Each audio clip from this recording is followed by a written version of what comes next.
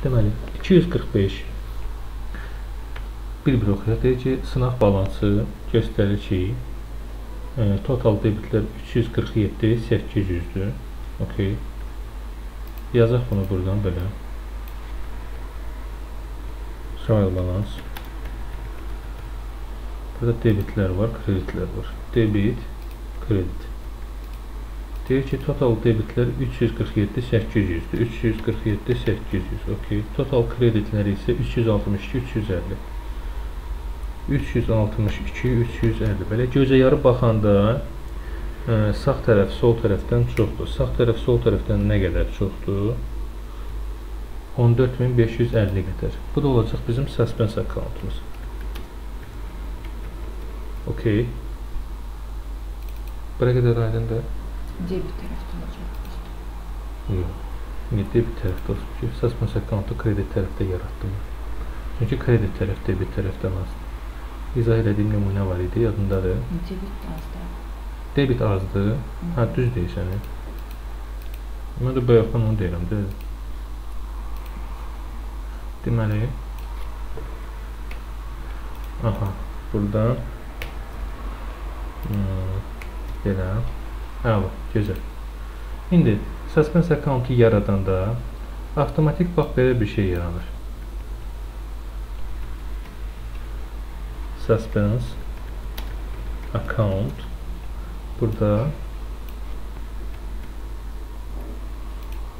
BDC 14550 olan bir account yaranır. Tamam mı? Belə. İndi Here, uh, after adjusting for the errors above, what is the balance on the suspense account? Uh, bu errorları deyib düzəliş eləyəndən sonra suspense accountdakı balans nə olacaq? Credit sale 3670. Hə, burada deyəm. Credit sale 3670. Credit sale-ın double entry-si debit, receivable-dur. Credit də sales-dir.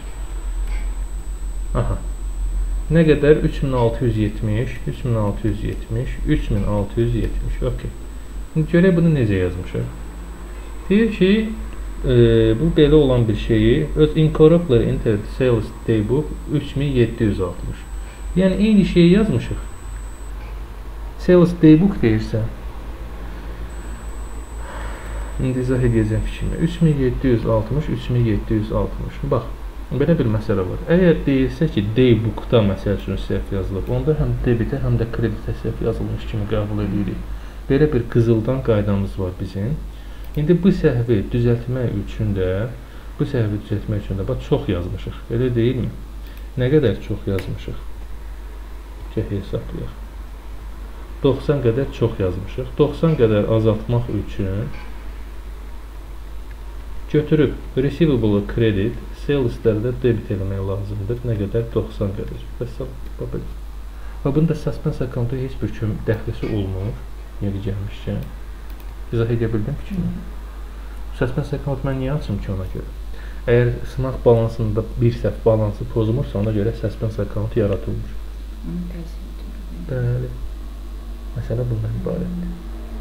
Kesin təsir edir əgər ə, hansısa tərəfi ya debit ya kreditə başqa cür göstərilirsə.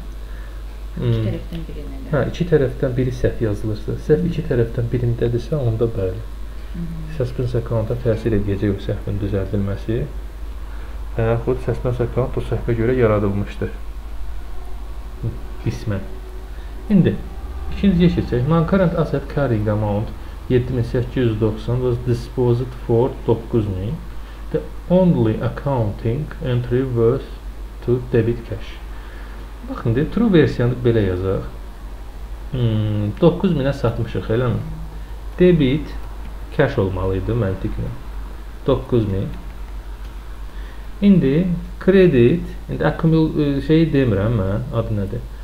Accumulated depreciation və yaxud kostu ikisini birləşdirib yazanda elə credit carrying value yazıram. Carrying value, yəni qısaca yazıram. Nə qədər?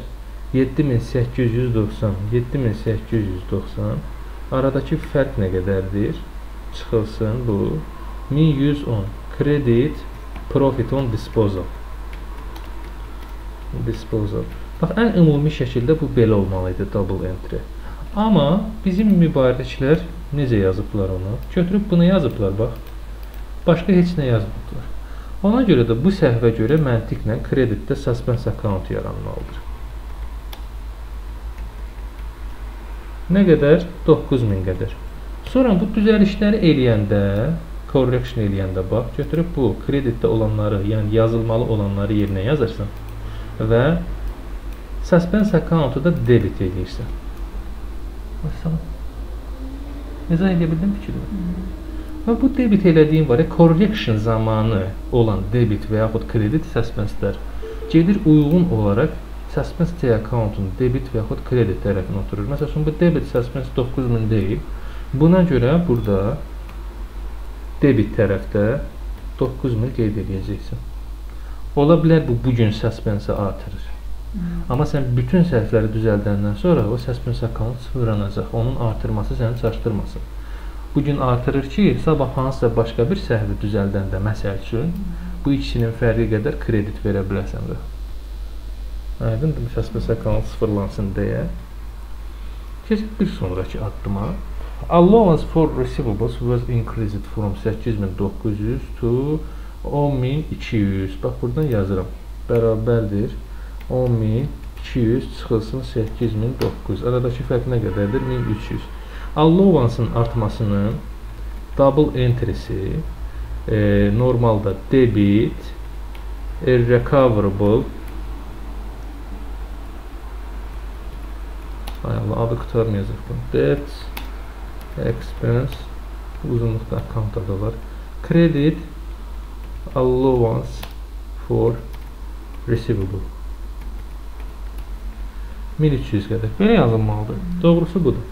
Görək indi nə etmişik biz də? Allowance account has was debited in error. Aha. Allowance kredit yazmaq əvəzində debit yazmışıq. Onda kreditdə avtomatik suspense əmələ gəlir nə qədər? 2600 qədər. İndi bu səhvi düzəldəndə suspensi məcburuq debit eləyək. Debit suspensi veririk və məsəl üçün e, bu allowance var. Allowance 2 qat qədər kredit eləməliyik. Bir dəfə səhvən debit elədiyimizə görə azaldıraq o debiti. Bir dəfə də kredit veririk ki, yazmalı olduğumuzu yerinə yazaq. Vəssalam. Və buradan da debit suspense gəlir bura 2600. Və burada da CD nə qədər qalır? Gəl baxaq. Bərabərdir sum of this 21100 26150 qədər debit qaldı qalıqda. 26150 ona görə də cavabımız verir A bəndi. Yəni ola bilər, yəni bu belə versin. Burada heç bir problem yoxdur. Bu təbii bir şeydir. Yəni bax e, suspense account misalları bu formada həll olunur. İzah edə bildim fikrimi? Məsəl sual qalmadı? Deməli deyir ki, uh, the trial balance of Kevin doesn't balance. Kevinin sınaq balansı düz gəlmir. Məna, gözəl. Hmm, verilənlərdən hansı buna e, buna səbəb ola bilər? Məncə yəni bunu istəyəcək bizdən bir baş. Aha, gəl baxaq. Bax. Birincidə deyir ki, sales daybook was undercast. Yenə də deyirəm, bayaq da demişdim. Daybooklar undercast və yaxud overcast olanda bu double entry-nin hər iki hissəsinə tərəf təsir elədiyinə görə eyni miqdarda sınaq balansında fərq yaranmır. Bax, məsəl üçün bayaqki misal var idi. Bax burada fikir ver. Bax bu daybookun overcast olması idi. Daybook overcast olanda nəticə bu olur, yəni və düzəlişdə də suspense account-a və yaxud səhvə görə də suspense account-un yaradılmasına ehtiyac qalmır. İkinciyə baxaq. E, deyir ki, discounts received were credited to sales revenue account. Aha, baxarıq buna. Birincini çıxdı. Birincini çıxandan sonra A da getdi, D də getdi, əla. E, üçüncüyə, dördüncü the debit side of the cash account was undercast. Ondan sonra an opening accrual was omitted from the rent account. Okay. Cavab 3-dən 4 olacaq. Yəni bunlar yüzdə yüzdür. İzah edeyim fikrimi niyə görə. Bax, məsəl üçün e, Dördüncüyə bax. The debit side of the cash account. Yadda saxla. E, cash accountun deyir ki, debit tərəfi. Debit tərəfi double entry-nin bir tərəfidir. Bu deməkdir ki, double entry-nin bir tərəfi səhv yazılıb. Səhv yazılırsa avtomatik balans pozulur. Üçüncüdə nə deyir? Deyir ki, accruals, opening accrual, yəni hansısa bir rəqəm. Okay? Omitted from the rent account. Harda yaddan çıxarılıb? Hansısa bir accountda. İstənilən bir account double entry-nin bir tərəfini ifadə edir. İstənilən account double entry-nin bir tərəfidir. Çünki istənilən double entry 2 dənə account-a gedir. Debit bir account-a gedir, kredit də bir account-a gedir. Ona görə hər bir T account-a, hər bir account-a double entry-dən ancaq bir tərəf qismət olur. Və ona görə də e, istənilən, bax yadındadır biz səninlə şey işləmişdik e, SPL Soft hesabatının qurulması. Bax, orada T akkauntları qurmuşdun sən. O T akkauntlarında hansısa rəqəmi səhv yazsan, sınaq balansında avtomatik balans pozulurdu. Bax, göstərim sənə əyani şəkildə bir dənə yadımıza salaq. Bax, bu nə deyirdim? Bax, yadındadır bu. Bax, bax, burada, məsəl üçün, sən bax, belə götürüb, götürmüsən də, bərabər şəkildə götürmüsən. İndi fikir ver, bax, istənilən akkauntda hansısa bir məbləği opening balansı yaddan çıxartsan, məsəl üçün, bax. Gördün, bax, balans pozuldu avtomatik. Bax, burada bizə onu deyir. Ona görə də çox fikirləşməyə ehtiyac yoxdur. Ona görə 3 %100 qəbulumuzdur və 3 ilə 4 cavabımızdır. İndi keçək 2-yə. Discounts received were credited to e, sales revenue account. Discount received özü kreditdir. Və discount received normalda hara kredit olunur? Discount received normalda cost of sales-a kredit olunur. Hmm. Cost of sales-a kredit eləməli olduğun məbləği götürüb sales-a kredit eləmisən. Məsələn. Burada məsələ nədən ibarətdir? Sən bax double entry-ni belə yazmısan. Gəl onu əyani şəkildə sənə göstərim. Bax, normalda olmalı idi belə. Debit, deyək ki, payable məsələn 100 credit discounts received bu da 100 sən bilirsən nə yazmısan sən bax belə bir şey yazmısan Credit discounts received yox, credit sales yazmısan. Bu səhvi düzəltmək üçün də sadəcə olaraq sales-ı debit edəcəksən və yazmalı olduğun məbləği credit discounts received yazacaqsan. Hmm. Aydındırmı fikir? Və bütün məsələ bundan ibarətdir. Heç yox. Okay? Davam edək mi? Hmm. İndi keçək növbətiyə. Hə? 247 Aha. Deməli, MHSB adında bir şirkət var. Bu sınaq balansı düz gəlmir. Deməli, hansı səhv, hansı səhv? Bunu izah eləyər. Hansı səhv bunu izah eləyər? Yəni, %100 hansı səhvə görə belə deyək də sınaq balansında balans pozular. Yadındadırsa mən dərsdə demişdim ki, sənə nə compensating errora görə, nə də errors of principle-a görə sınaq balansında balans pozulmur. But when it comes to error of commission pozula da bilər, pozulmaya da bilər. Okay? Amma extraction errorda isə %100 balans pozulur. %100 o yan bir yanı yoxdur. Extraction error bilirsən nədir? Bax, qoy sənə göstərim. Bax, bir yazdığımız var idi, yadındadır. Bu mənim üçün yazmışdım. Extraction error, bax sən burada məsələn receivable-ı receivable-dan götürüb bura atırsan T account-dan. Bax, bu extract eləməkdir. Bax, buradan məbləği götürüb burada yazmaq, deyil, accountların qalıqlarını. O extract eləməkdir. İndi sən extraction error edəndə belə deyək də, ya götürüb nəyisə yazmırsan, ya da nəyisə səhv yazırsan. Məsəl üçün, Bu T akkauntlardakı istənilən məbləği götürüb bura səhv yazsan, məsəl üçün receivable-dakı məbləğ 1600-dür, sən bunu 160 yazsan bura, avtomatik balans pozulur. Extraction error bax budur. Tamam mı? Ona görə extraction errorun sənə %100 balansını pozacaq. O yan bu yanı yoxdur. Tamam mı? Keçək növbətiyə. Sual var? Keçək növbətiyə onda. 248 Deyək ki, sınaq balı Butlerin Gerard Butler yazmaq düşdü. Shows that that uh, debit bu qədər, kredit bu qədər, okay. Gəl onda bunu belə example üstündən işləyək. Bunu.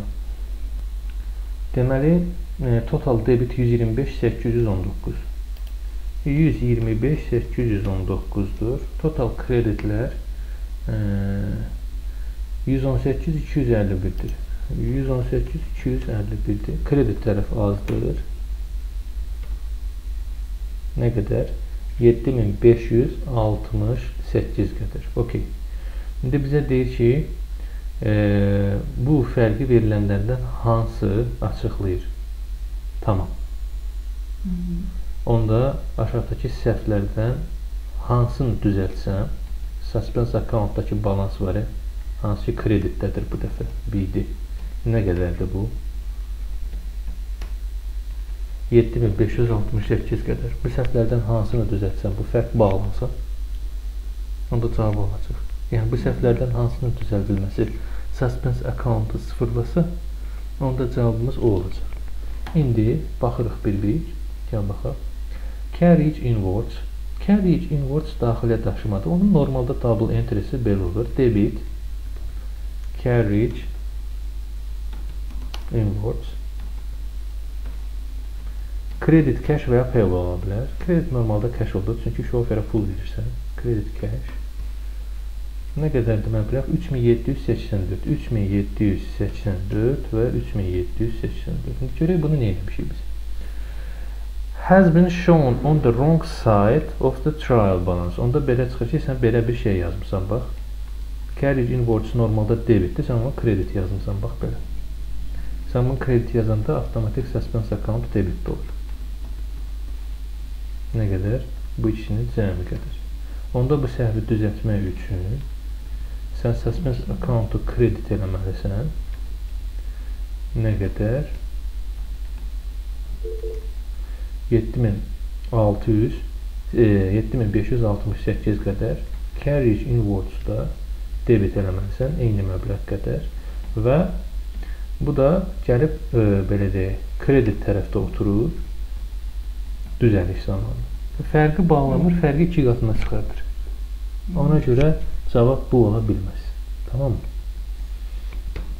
Keçirəm ikinciyə. İkincidə mənə nə deyir? Discount received 3784. Aha, gəl discount received-in double entry-sini yazaq. Bax bu idi.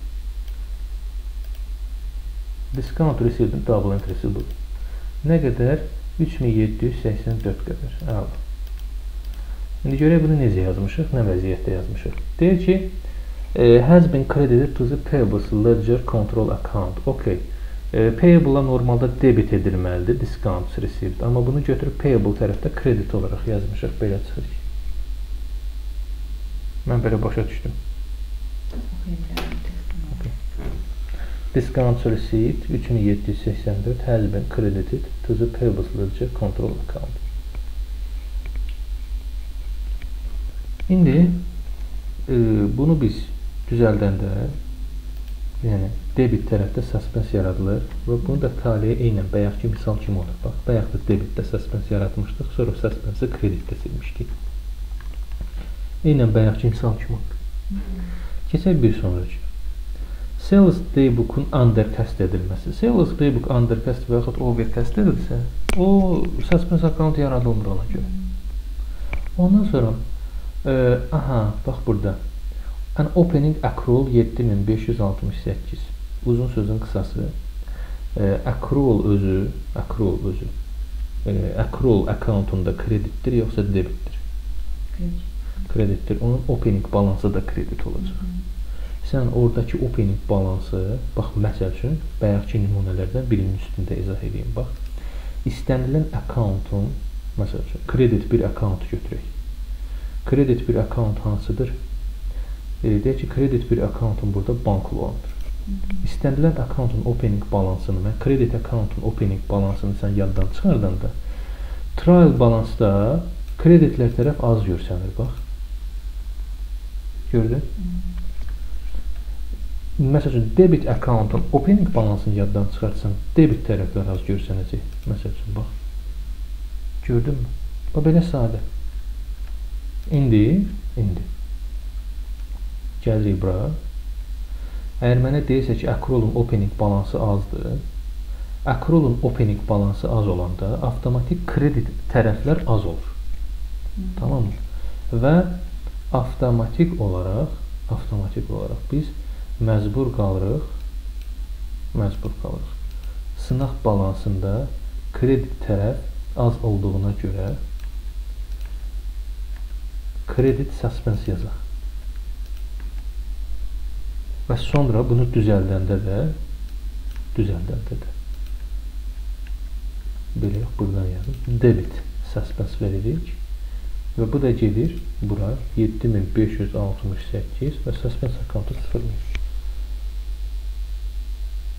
Sadə bir şəkildə də deyə bilərəm sənə bax. Bax belə deyim sənə. Fikrimi belə izah edeyim. Bax burada normalda accrual olmalıdır. Accrual məbləği 7500 68 olmalıdır, amma sən onu 0 göndərmirsən bura. Hı -hı.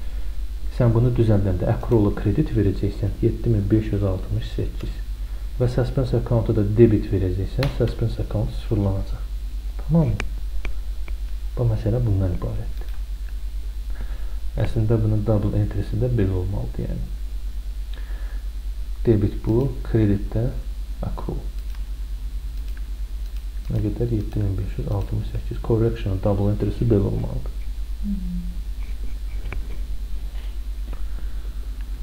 Bu belə. Edə bildim fikrimi. İndi keçək bir sonraki misala. Which of the following journals is correct according to its narrative? Verilənlərdən hansı öz məzmununa uyğun olaraq düzgündür? Okay, gəl baxaq. Gərək verilənlərdən hansı öz məzmununa uyğun olaraq düzgün qeyd olunur.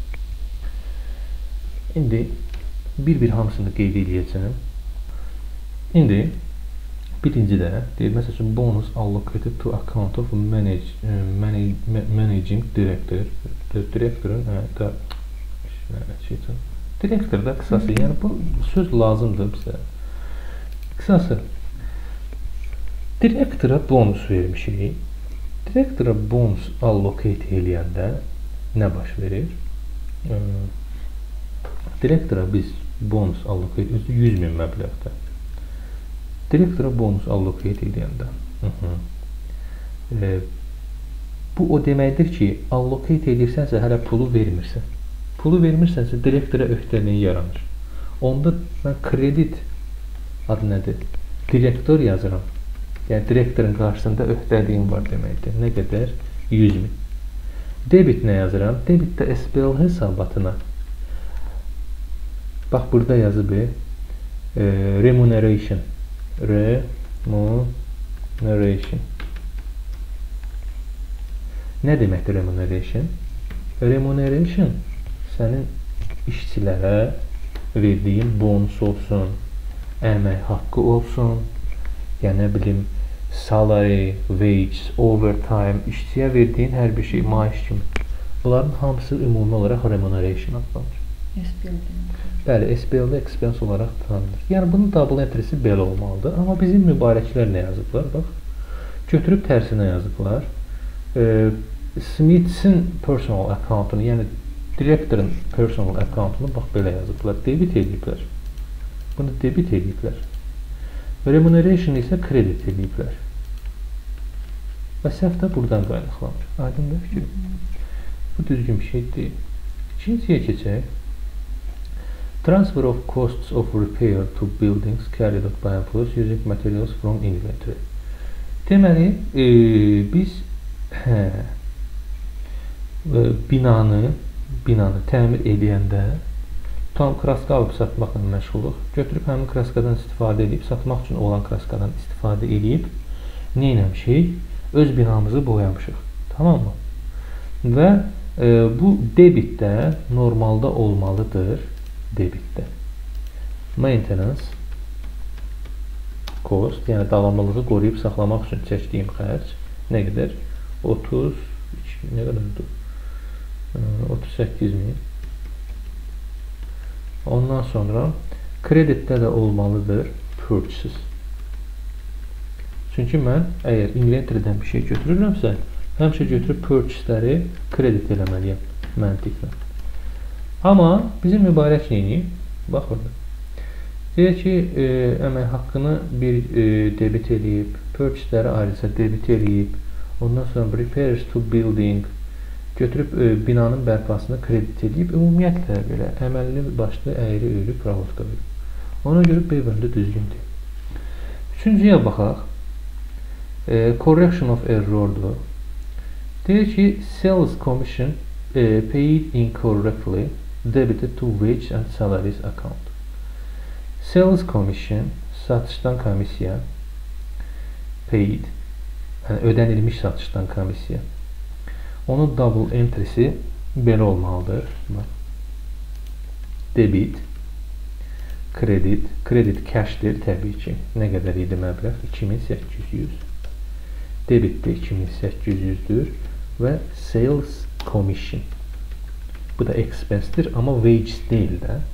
Bunlar götürüb bunu səhvən sales commission yerinə wages yazıblar.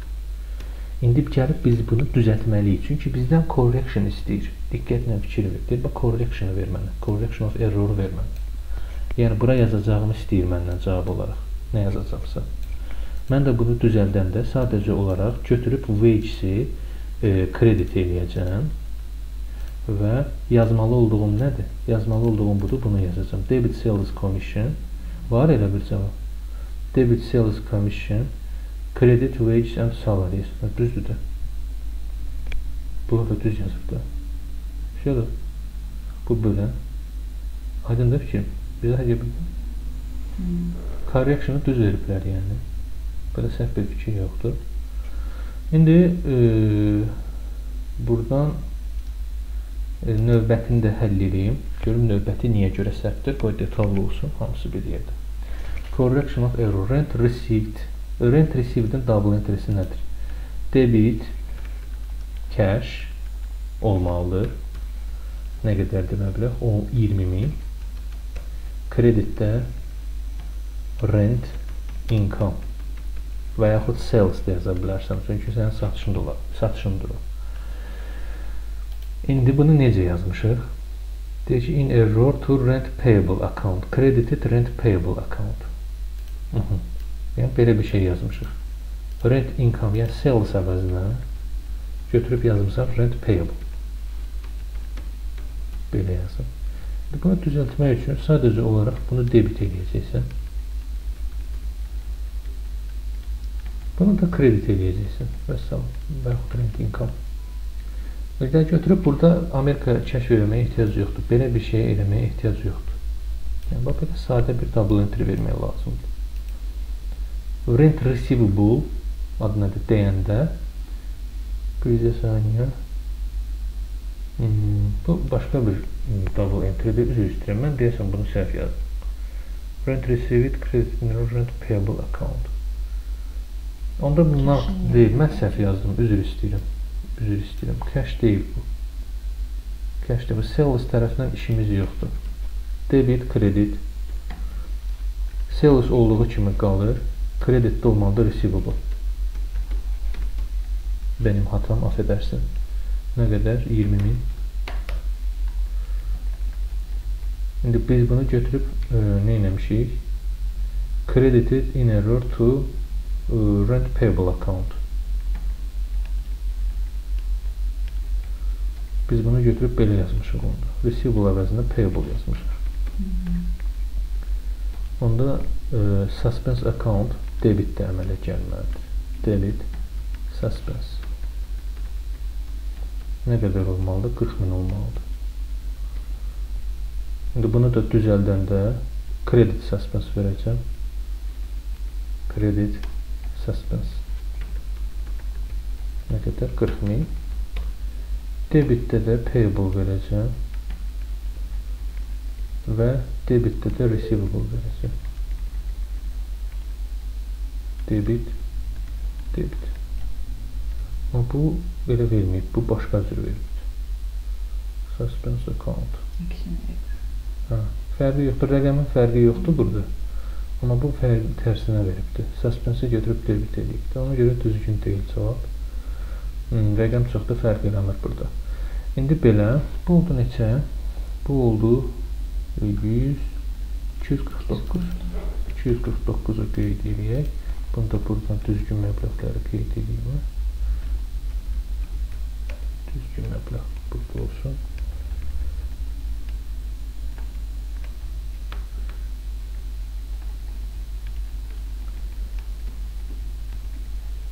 Bu da 10 bin 10 bin. Bu böyle. İndi keçək bir sonraki misala. Aha. Koi Coin'in sınaq balansı düz gəlmir. Suspense account açılıbdır fərqə görə. Hı. 250 Bizdə nədir? Which of the following errors would require an entry to the suspense account to correct them? Verilənlərdən hansı suspense accountun yaradılmasını tələb eləyər? Deməli, deyir ki, cash payment to purchase a motor van had been correctly entered in the cash book but had been debited to the motor expense account. Aha. E, belə deyək də, e, cash payment to purchase motor vanı almağı double entry nədir? Bunu yazmalıyıq. Bunları yazmalıyıq. Qaçarı yoxdur yəni. Bunu mütləq şəkildə yazmaq lazımdır. 250. Okay. Bunları silin burada. Bax, cash payment to purchase a motor van. Motor vanı almaq üçün pul ödəyəndə, məsəl üçün 100 qədər pul ödəyirəm. Debit olur, cost of motor van, kredit, motor van, kreditdə cash olur. Nə qədər? 100. Bu belə. Və deyir ki, bunu cashbookda düz yazmırsan. Əla. Onda deməli kredit cash-i düz yazmışam. Debit nə yazmışam? Debitdə isə deyir ki, motor expense yazmışam. Yəni hər şey düzdür. Sadəcə olaraq belə bir şey yazılır. Fikir ver, bu səhvə görə suspense account yaranmır. Çünki balans pozulmadı. Debitə də kreditə eyni qədər məbləğ getdi. İkinciyə baxaq.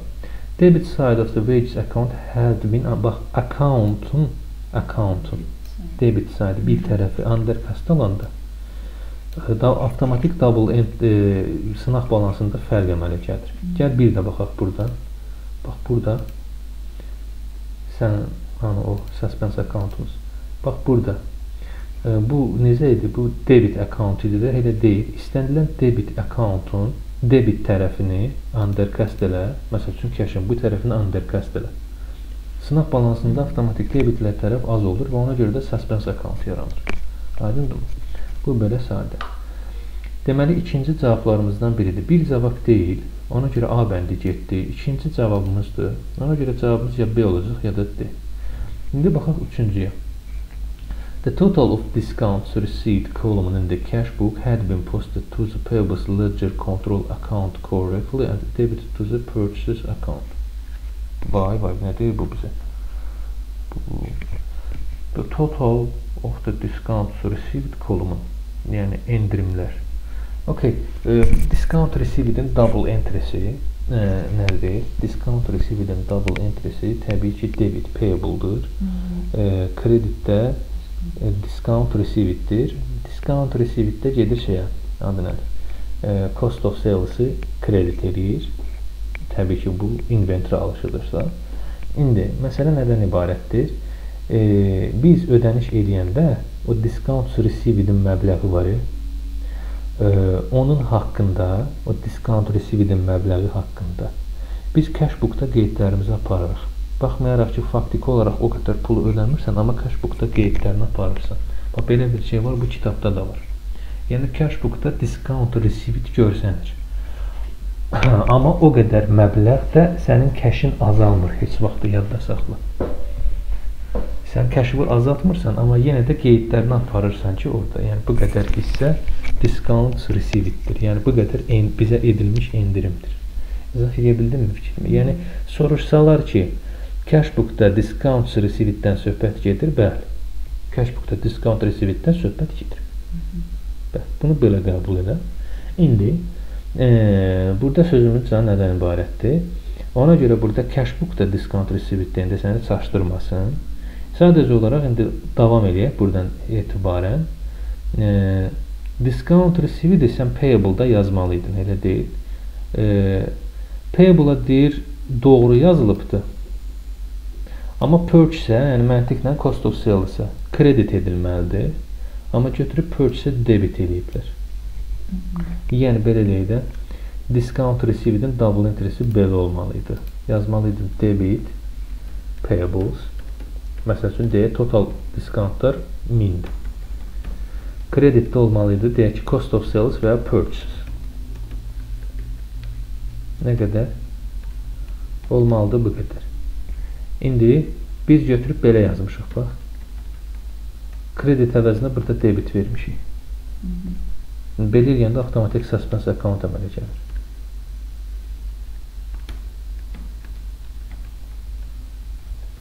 Nə qədər? 2000 qədər. Bu belə. Və bundan əlavə e, deməli e, üçüncüyə görə suspense account yaranır. Cavabımız 2 və 3 olacaq. Dördüncüyə baxaq. Refund to credit customer had been recorded by debiting cash book and crediting customer's account. Yəni bir dəfə debit yazmısan, bir dəfə də kredit yazmısan. Səhv yazmısansa belə, ona görə sınaq balansında balans pozulmur. Çünki bir dəfə debit vermirsən, bir dəfə də kredit vermirsən. Yəni 2 dəfə debit versən və yaxud 2 dəfə kredit versən, onda balans pozular. Bu belə. Bununla əlavə davam edək. İzah edə bildim fikrimi? Ona görə bu da 250 də belə. Bundan sonra bizdə var nə? 251. 251-də də bizə nə deyir? Hı -hı. Deyir ki, sınaq balansı düz gəlmir. Başlayaq. Uh, entities trial balance failed to agree. Failed to agree də bilirsən də, yəni düz gəlməmək deməkdir. Hə vaxtlarıydı mən bunun kökünü araşdırırdım ki, bu necə cümlə quruluşudur. Demə, and suspense account was opened for the difference. Suspense account açılıbdır buna görə. Əla. Suspense accountumuzda axır balans var, bildik. E, bizə deyir ki, hmm, subsequent investigation revealed, yəni sonradan edilən araşdırmalar ortaya çıxartdı ki, cash sales, cash sales 13 min. Aha, bilirsən, onu yazaq tez. Debit e, cash, credit, sales. 13 mil. E, had been debited to the purchase account. Aha, onu götürüb purchase debit eləmişik. Cash services and credited the uh, cash book for the purchase of some machinery 18.000 had not been posted to the plant and machinery account. Okay. 18 minlikdə e, əsas vəsait alışımız olubdur. Onda double entry-si belə olmalıdır. Debit adı nə idi bunun? E, machinery cost of machinery 18 min və e, kreditdə cash olmalıdır təbii ki cash 18 min. Ə, indi bu da deyir ki, had not posted and plant and machinery account. Birinciyə baxaq. Deyir ki, e, 13 minlik bu satışı had been debited to the bax bu sales, cash sales götürüb debit eləmişsən purchase. Onda mən belə başa düşdüm ki, buna deməyimlə. Burada başqa heç nə demişsən mənə. Burada bu credit sales tərəfi var. Götürüb bunun yerinə debit purchase yazıb. Hmm. Və buna görə də suspense account əmələ gəlir. Kreditdə nə qədər? 26 min qədər. Sonra suspense accountu düzəliş zamanı debit eləmək lazımdır. Debit eləyirik və e, məsəl üçün bu purchase kredit eləyirsən. Səhv yazmısan çünki. Bunu da yazmamsan, ona görə yerinə gətirib yazırsan. Bu belə. İkincidə isə bizə deyir ki, e, Bu had not been posted plant and machinery account. Yəni bu o deməkdir ki, sən burada debit tərəf var. Debit tərəfi ümumiyyətlə yazmamısan. Bunu biraz aşağıdan qeyd edeyim hamısını. Debit tərəfi ümumiyyətlə heç nə yazmamısan. Getdi, getdi, getdi. Bu nədir bu belə bir anda oldu? Belə.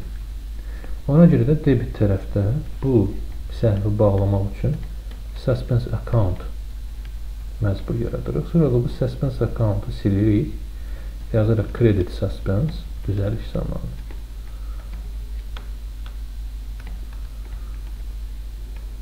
Credit suspense yazırıq. Debitdə məsəl üçün bax bunu yazmaq lazımdır. Götürüb bunu yazırıq. Hələ getdi bu.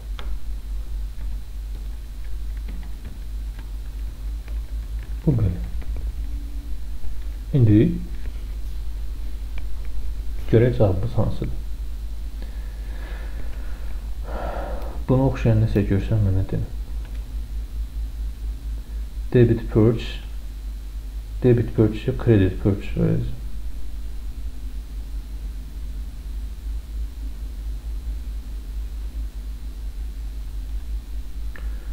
debit purchase, credit purchase olmalıdır.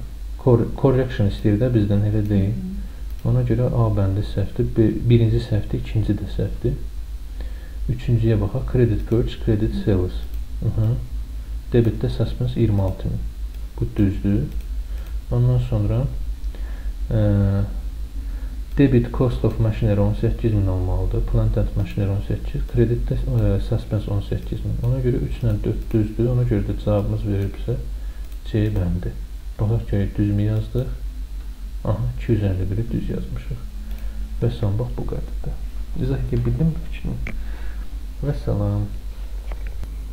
252, 253 nömrəli misallar. Deməli ki, şirkətin e, profiti 630 min göstərir bizə. Gəlin buradan qeyd eləyək. Profit before corrections. Yəni qısası da 630 min idi opening balansı. Daha doğrusu correctiondan əvvəlki balansı. Bundan əlavə qeyd edilir ki, ə, sınaq balansı düz gəlmir. Ona görə suspense account yadçılıqdır subsequent checking sonradan elədikləri çeklər, çek elədi, eləyiblər və aşağıdakı səhvlər üzə çıxıbdır. The cost of an item of plant 48 min 48 min kostu olan ə, əsas vəsait had been entered in the cash book uh, and in the plant account 4800 hmm, cash book-a, yəni bunun alışını ə, nəzərdə tutaq. 48 min kostu olan əsas vəsaitin belə deyək, double entry-si belə olmalıdır məntiqlə. Alışının double entry-sindən söhbət gedir böyük ehtimalla. Çünki burada cash book-dan danışırsa onun alışından söhbət gedəcək. Kredit debit olmalıdır non-current asset, yəni məntiqlə. Kreditdə olmalıdır cash. 48 min və 48 min. Deyək ki, bu 48 min məbləği götürüb 4800 yazıblar. Eyni şeyi yazıblar, amma sadəcə olaraq 4800 yazıblar. Sıfırın birini yeyiblər. Baxın, bu formada. Və amortizasiyası da 10%dir bunun. E, və bunun amortizasiyasının da double entry'si olmalıdır. Debit, depreciation, charge, credit, accumulated depreciation nə qədər olmalıdır? 10% qədər. Yəni bunun 10% vurulsun 0,1. Baxın bu formada. Amma biz götürüb kostu 4800 yazandan sonra amort 1 illik amortizasiya olur. Baxın bu qədər. İndi bu bir dənə səhvə görə 2 dənə double enter, 2 dənə provodda səhv gedibdir uşaqlar. İndi bu səhvləri düzəldəndə biz nə etməliyik? Bu səhvləri düzəldəndə sadəcə olaraq Götürüb birinci növbədə kostu ə, artırmalıyıq təbii şəkildə 30 43200 qədər və eyni zamanda kəşi də azaltmalıyıq 43200 qədər. Və buna uyğun olaraq amortizasiyanı biz artırmalıyıq 4320 qədər və yığılmış amortizasiyanı da bu qədər artırmalıyıq və buradan da suspense account-a heç nə getmir. Yəni birinci səhvə görə suspense account-a biz düzəliş eləmirik. Ancaq e, SPL hesabatına, mənfəət zərər hesabatına isə expense-i artırıb göndərmək lazımdır. Yəni bizim xərcimiz, amortizasiya xərcimiz 4320 qədər artır. Baxın belə. Bunu göndəririk bura səliqəli formada. Buradan qeyd edək. Bu isə yekundur. Yəni profit after corrections. 625, 680 verir bizə hələ ki. Davam edək.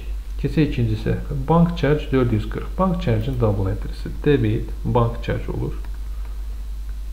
Bank charge. Kreditdə məntiqlə olur cash. Nə qədərdir bu?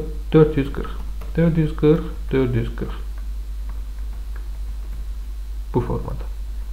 İndi bizə deyir ki, e, bank e, statementdə the bank statement but had not been entered in the company's records. Bunu biz ümumiyyətlə ümumiyyətlə biz bunu yazmamışıq uşaqlar öz qeydlərimizdə 0-0 olaraq qəbul edirik. Bunu yazanda sadəcə olaraq bu true versiyadakını götürüb correction-a copy paste eləmək lazımdır. Yəni bunu yazmaq lazımdır qısası. 440 yazanda biz bura bizim təbii ki profitimiz bank charge expense-ə görə 440 qədər də azalacaq. Bunu da qeyd elədim və bu da mənim əlimdə olan profitimdir. After correction. Davam edək, keçək sonuncuya. One of the directors paid 800, one of the directors paid 800 due to, due, to a supplier in K Corporation's payable. Şirkətin e, elə bil ki, öhdəliklərindən birini bizim direktorlardan biri ödəyib uşaqlar. Burada nə baş verir? Direktor bizim öhdəliyimizi ödəyəndə debit, kredit sadəcə olaraq bizim payable-ımız 800 qədər azalır. Və biz 800 məbləği biz direktora borcluq. Direktor directors account payable. Məsələn, baxın bu double entry belə olmalıdır. İndi deyir ki bizə bookkeeper recorded debit suppliers ledger account, yəni e, double entry-ni kim yazıbsa, götürüb debit tərəfi düzgün yazıbdır. But didn't complete the double entry. Kredit tərəfi isə tamamlamayıbsa, onda direktorun hesabını yazmayıbdır sıfır qalaraq qəbul edirəm. Onda kreditdə suspense account əmələ gəlir uşaqlar. Suspense accountda 800 məbləğ. Və correction zamanı sadəcə olaraq götürüb suspense account debit eləyəcəyik və nəyi yazmamışıq? Direktorun payable accountunu yazmamışıq. Onu da yerinə yazırıq və buradan gördüyünüz kimi correction'ın SPL hesabatına heç bir məbləğ getmir. İndi gəlin baxaq. Bizə deyir ki, which of the follow, uh, which of the above items would require an entry to the suspense account to correct them? Yəni e, verilənlərdən hansı suspense account tər A burada 4-cü də var. Üzr istəyirəm. Gəlin bunu da tamamlayaq. Bu yadımdan çıxmışdı təmiz. The payment side of the cash book has been had been undercast understated by Omin. Bundan əvvəlki misallarda da qeyd elədiyim kimi uşaqlar cash book understate və yaxud overstate edilsə, o bir tərəfli kitab olduğuna görə avtomatik sınaq balansında balans pozulur. Ona görə də dördüncüyə görə suspense account yaradılacaqdır. Da bunu burada yazıb sizi yormuram. İndi belə çıxır ki, bizdə ancaq üçüncüyə və dördüncüyə görə suspense account yaradılmalıdır. Ona görə 252-nin cavabı B bəndi. İndi e, profit correction-dan sonrakı halı nə qədər olmalıdır? 625 240. 625 240 cavabımız D bəndi. İndi isə keçək bir sonrakı misala. Deməli, e, sınaq balansı düz gəlmir. Suspense account açılıqdır. Əla. Inventory bought, sales tax inclusive 4700, e, sales tax daxildir bu 4700-ə has been credited to the payables ledger control account. İndi bircə saniyə səbirli olaq. Inventorinin alışı. Inventorinin alışının double entry'si olmalıdır. Debit, purchase, credit, payable və bundan əlavə də həmçinin debit, sales tax olmalıdır. Sales tax. Baxın bu formada. İndi e, gross məbləğ 4700-dürsə, o zaman net məbləğ də olmalıdır 117 tam onda 5 faizə böləndə olmalıdır 4000. Sales tax-ə də 700 pay düşür. Yəni bu doğru double enter belə olmalı uşaqlar. Ə, ancaq biz e, necə yazmışıq? Deyir ki, e, has been credited to the payables ledger control account. Payables ledger control account-a kredit edilməlidir də, yəni. The sales tax on 7.5 has been recorded in the sales tax account. Okay, bu da sales tax account'ta qeyd edilibdir. The total 4700 has been recorded in the purchases account. Hmm. Əla. Deməli uşaqlar, biz burada purchase 4000 yazmalıyıq. Amma bunlar götürüb baxın belə yazıblar. Purchase də götürüb 4700 yazıblar. Üstəcə sales tax account-a da 700 yazıblar. İndi bu səhvə görə e, bizə e, məntiqlə total debitlər, total kreditlərdən 700 çox olduğuna görə kreditdə suspense account yaranmalıdır. Suspense account nə qədər yaranır? Suspense account 700 qədər yaranır. Sonra bu səhvi biz düzəldəndə suspense account-u debit edirik və purchase-ləri də Şuralar 700 qədər kredit edirik ki, artıq yazılmış məbləği silək purchase account-dan. Burada da buna uyğun bircə dənə cavab var. Yəni bu correction istəyir də bizdən. Correct və error deyir. Buna uyğun bircə dənə cavab D bəndidir. E, üzr istəyirəm, C bəndidir. Və salam. Yəni belə sadə, bəsit. Uh, the draft financial statements of Galahad's uh, business for the year ended qısası profit correctionlardan əvvəl prior to the correction 54250 idi. Buradan qeyd edirəm. 54250. Okay. Correctionları bu araya düzəndən sonra corrected profit burada yəni öz düzgün nəticəsini verəcək bizə. Deyir ki bizə cash drawings 250 has have not been accounted for. Şular. Drawingin profitə heç bir aidiyyəti yoxdur. Ona görə birinci getdi. That's amounting 420 e, Drawings-in niyə aidiyyəti yoxdur? Onu da izah edeyim sizə. Drawings-in double entry-si e, nədir? Debit drawings, credit cash-dir və yaxud credit purchase-dir. Burada cash drawings deyir, credit cash olmalıdır. Burada drawings var bircə dənə. O drawings də gedir birbaş equity-yə, profit-yə getmir, SPL hesabatına getmir. İkinci, debts amounting 420 which were provided against in full during the year should have been written off as irrecoverable.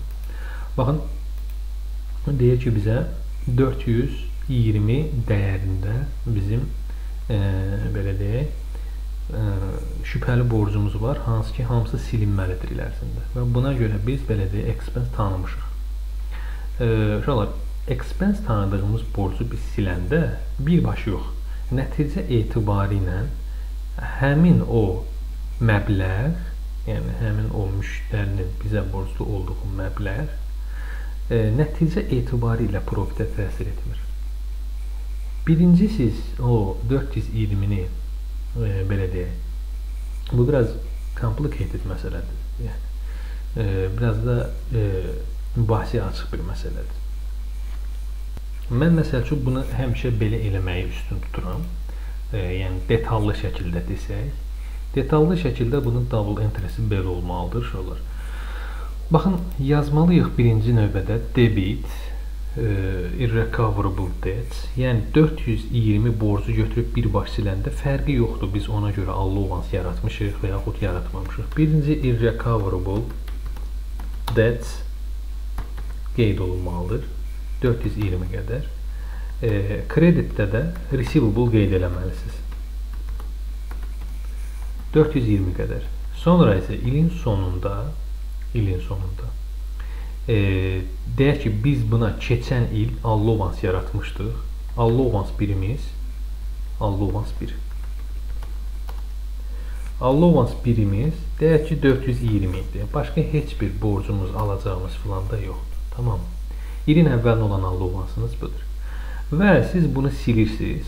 Bu formada double enter-ni verirsiniz və bu double enter-dən allovansa heç bir dəxlisi olmur. Ancaq ilin sonunda allovansı qiymətləndirəndə allovans 2 sizə 0 verir. Belə olan təqdirdə aradakı fərq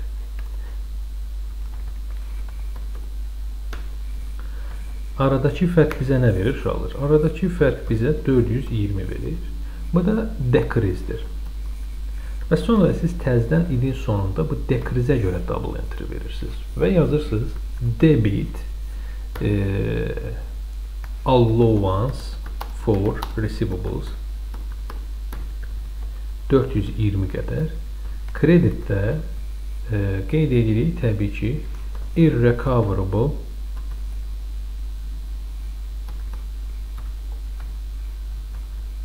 debts. Nə qədər? 420 qədər. İndi uşaqlar, baxın, bu iki double enter-ni eyni anda nəzərə alanda recoverable debtlər islah olur, gedir. Əlimizdə qalır debit allowance 420, credit receivable 420 və nəticə etibarilə fikir verirsinizsə, mənfəət zərər hesabatına heç bir dəxlisi olmur. Yəni Bu əslində belə bu formada olmalıdır. Niyə görə?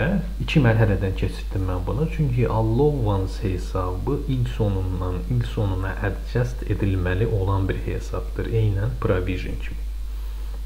Edək. Deməli, rental income deyir ki, 300 has been classified as interest receivable. Şurada income-da belə deyək, e, gəlirdir interest receivable-da gəlir. Rental income-da gəlirdir, interest receivable-da gəlirdir. Biz sadəcə olaraq sales-ı götürüb faiz gəliri kimi qeyd eləmişik. Vəssalam. Yəni bir krediti götürüb başqa kreditdə yazmışıq. Belə deyimsə. Yəni bir də e, deyə bilərsiniz ki, məsəl üçün əməlim rental income kreditdir. Bəs yaxşı, interest receivable, yəni receivable deyirsə bizə debit deyir axı. Baxın, burada qeyd eləməyib ki, yəni belə deyək də, e, götürüb krediti debitdə yazıb və yaxud debiti kreditdə yazıb e, SPL hesabatında faiz alacaqlarınız var. Onların e, adına maddə açanda orada, orada interest receivable başlığı qeyd olunur yəni. Orada interest receivable var.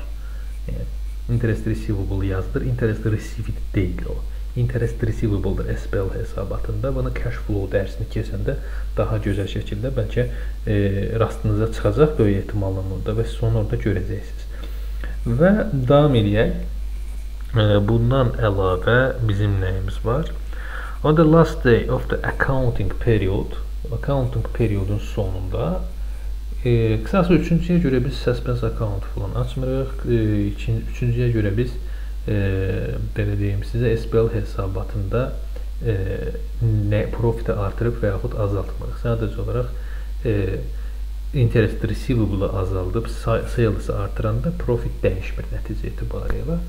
Dördüncüdə on the last day of the accounting period e, periodun sonuncu günündə 200 in cash was received from a customer. Müştəri 200 bizə pul verib, but no bookkeeping entries have been paid.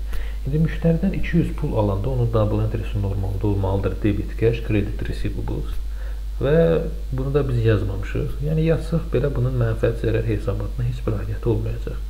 Nəticə etibarilə bu 4 dənə veriləndən heç biri bizim profitimizi dəyişmir. Ona görə də e, Galahadın e, corrected profiti elə 54250 olaraq da qalır. Ona görə cavabımız verir bizə C bəndi. Rəssamım belə sadə. Bundan əlavə bizdə 256 nömrəli misal var. Buyurulur ki, sınaq balansı is out of agreement. Yəni düz gəlmir. Bizdə debit side totaling 500 less than credit side. Debit tərəf kredit tərəfdən 500 less, yəni azdır. Onda belə çıxır ki, məsəl üçün Debit tərəf 9500-dür, kredit tərəf 10000-dir. Ona görə debit tərəfdə suspense yaradırıq 500 qədər. Onda suspense accountun BDC olur avtomatik, şu olur 500. Baxın, bu formada işləyir bu. Əvvəlki misallardan da, dərsin izahından da yadınızdadırsa. Davam edirik. The credit side of the sale, uh, sales account for October had been undercast by 150. Deyir, aşağıdakı səhvlər tapılıbdır və səhvlərə adjust verdikdən sonra suspense accountdakı qalıq nə olacaq? Gözəl. E, bizə deyir ki, credit side of the sales account for October had been undercast by 150. Sales account özü e, belə deyim, zaten kreditdir və bunun kredit tərəfi 150 qədər undercast edilibsə, o zaman biz məsəl üçün sales-ə yazmalıydıq, məsələn, debit cash e, mi yazmalıydıq. Kreditdə sales yazmalıydıq mi. Biz götürüb nə yazmışıq? Debit cash-ı düz yazmışıq, belə çıxır. Credit sales tərəfi isə biz sadəcə olaraq 150 qədər az yazmışıq, undercast eləmişik. Buna görə də kreditdə suspense account əmələ gəlibdir. Suspense account-a daha doğrusu pay düşüb bundan, belə deyək.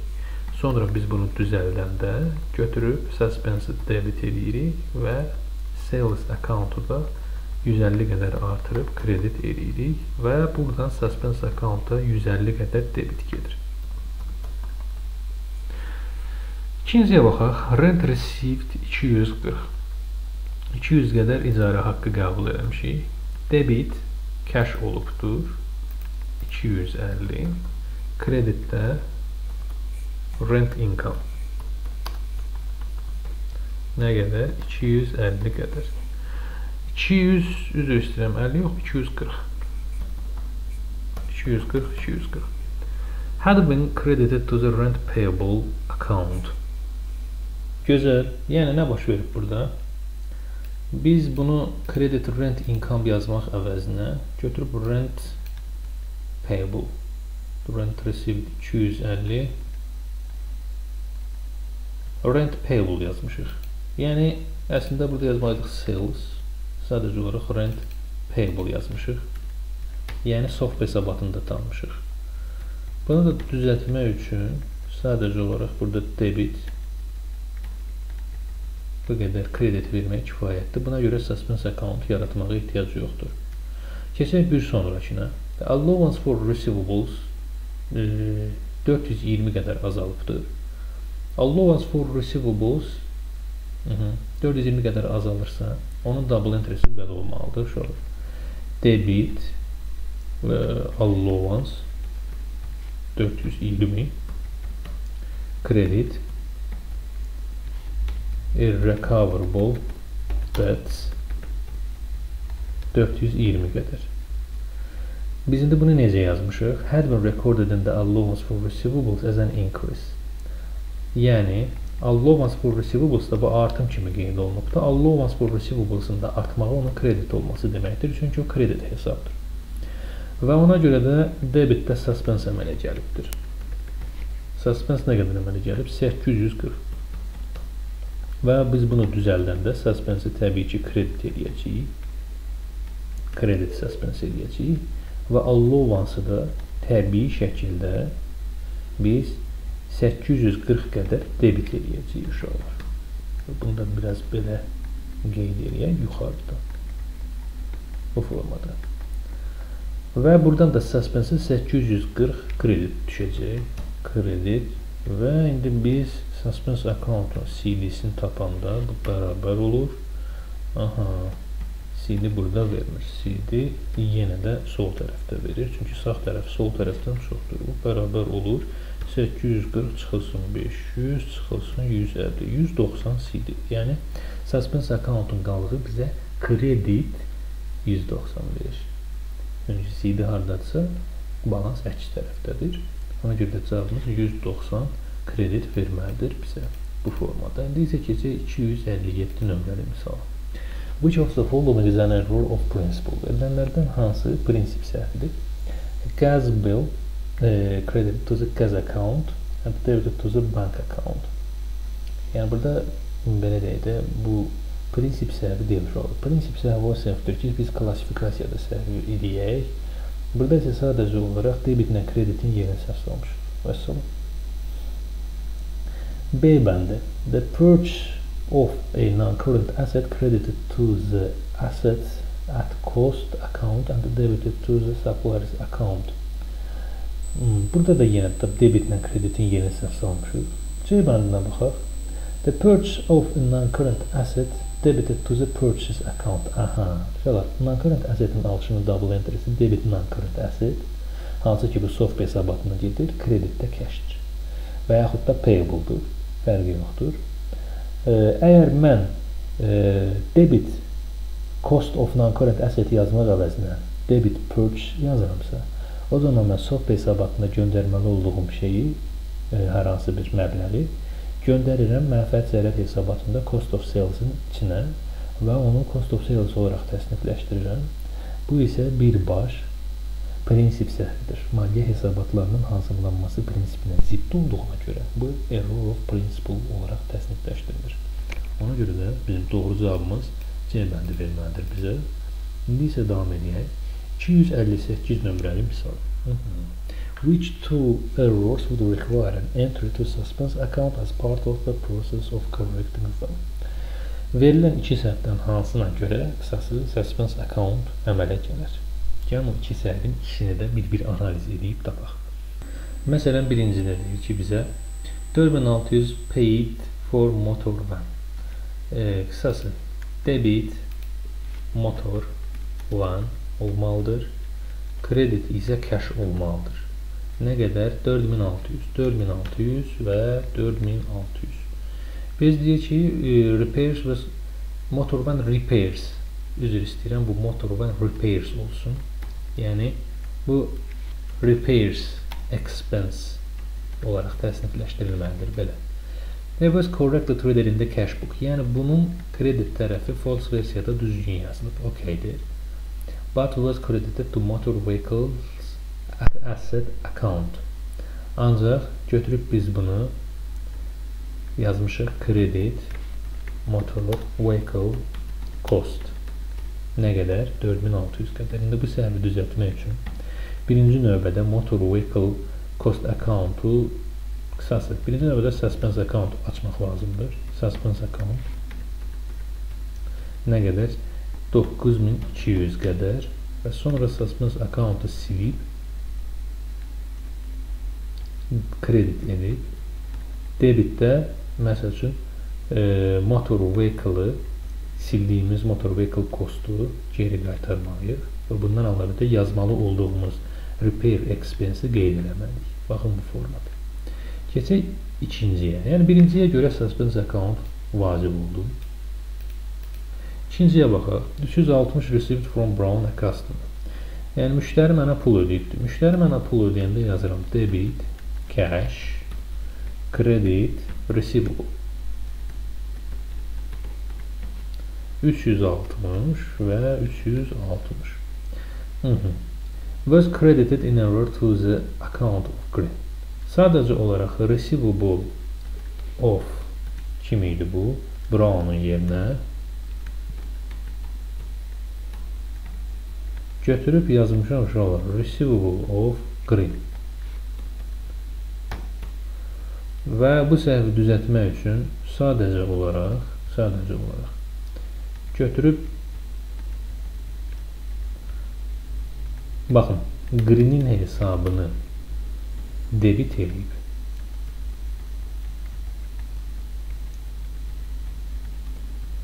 Brown'un hesabını kredit eləmək kifayətdir. Məsələn. Və buna görə də suspense account-a ehtiyac yoxdur. Üçüncüyə baxaq. 9500 paid for rent. 9500 icarə haqqı vermişik. O zaman kredit cash 9500 olubdur. Debit isə rent expense 9500 olubdur. Baxın bu formada. E, was debited to the rent account as 5900. Əla. Uşaqlar, burada error of transposition və bir tərəfli errordur. 5900 və buna görə də debitdə suspense account əmələ gəlibdir. Nə qədər? Təbii ki, aradakı fərq qədər. 3600 qədər. Sonra isə bu səhvi düzəltmək üçün sadəcə olaraq e, credit suspense veririk. Debit isə təbii ki 3600 qədər rent expense veririk bu formada. Buna əlavə total of the discount received column in the cash book 325 had been credited in error to the purchase account. Qısası e, discount received-in double entrysi şunlar debit payables credit purchase qəbul edək və cost of sales nə qədər? 325, 325, 325 və biz necə yazmışıq bunu? Bizə deyir ki has been credited in error purchase account Əla. Belə deyək uşaqlar. Burada məsəl üçün bu discount receiveddir. Nəticə etibarilə ya gedib cost of sales-dən çıxmalıdır, ya da purchase-dən çıxmalıdır. Yəni birbaş bizim bunu purchase yazmağımız düzgün deyil. Və bunu biz götürüb belə yazmışıqsa, sadəcə olaraq bunu debit edib bunu da gətirib yerinə yazmaq kifayətdir. Vəssalam. Keçək bir sonrakıya. Əsasmaz akkaunt'a ehtiyac olmadı. No entries had been made to record uh, a cash sale of 100. Hmm. Əla. Burada bizdən deyir ki, no entries have been record the cash sale of 100. Cash sale'ın double entry'si nədir? Debit, cash, kreditdə sales. Nə qədər? 100. 100. Buna görə heç bir entry edilməyib uşaqlar. Heç bir entry edilməyib.